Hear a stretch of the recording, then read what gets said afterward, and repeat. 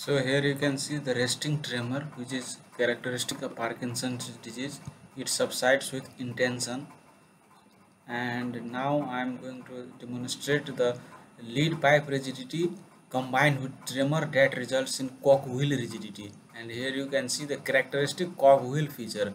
And I'm testing for tone at rest. And now I'm testing for Hoffman sign which is negative.